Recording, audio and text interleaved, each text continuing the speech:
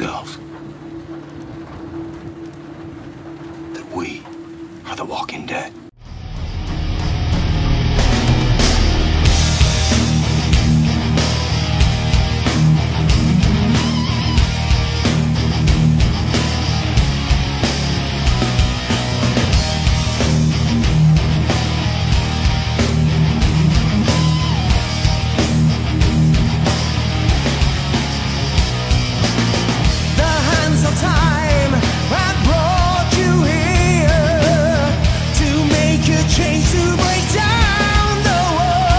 house